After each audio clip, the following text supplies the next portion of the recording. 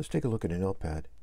If you want to change the volume of a speaker, you need to keep the output of your amplifier the same impedance. If it, if it wants to see 8 ohms, it has to see 8 ohms out there. It can't see 4 or 16 ohms. So that's what an L-pad does. It maintains the impedance on the uh, on your amplifier, no matter where you have your uh, volume you have on your your speaker here. And in order to do that, we use a voltage divider. Now, it's set up like this here, and say we want to um, we want to go down 3 dB, half power. Okay, we got 10 watts in, we want 5 watts out. Now we can use these, this formula here to find your resistance of R1 here. We take your the impedance, which is our 8 ohms here, and we times that by our uh, 10 to the power of dB over 20 minus 1 because we're going down in dB, right? And then we divide that by our 10 to the power of dB over 20. Now, if you divide these out, it's 0.15. And if you take 10 to the power of 0.15, it's 1.412 minus 1 uh, divided by this here and times 8. It comes out to 2.33 ohms, okay? So that's the resistance of R1 here. To find the resistance of R2, you, uh, you, you do it this way. You take uh, 10 to the power of dB over 20 minus 1 and over, over 1 here, right?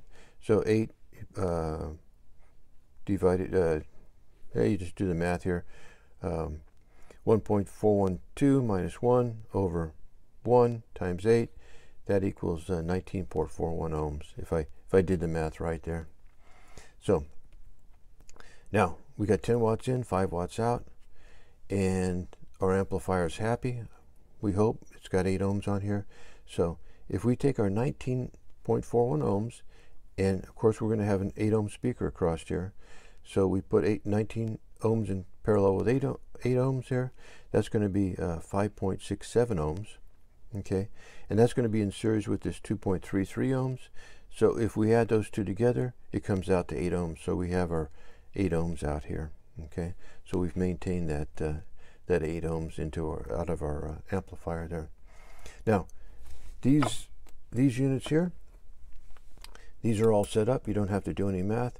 They they will control the volume of your speaker. They have two uh, uh, variable resistors in there and they're set up in such a way that you always maintain this this ratio where you have your 8 ohms here. So if you have 8 ohms out here we want to see 8 ohms here all the time okay? No matter where you where this thing uh, what position it's in. So we'll give that a try. So here's a here's our ohm meter now I have uh, across here I don't have a 8 ohm I have 8.2 ohms on there. That was a, the only resistor I could get. Can you see that? Yeah.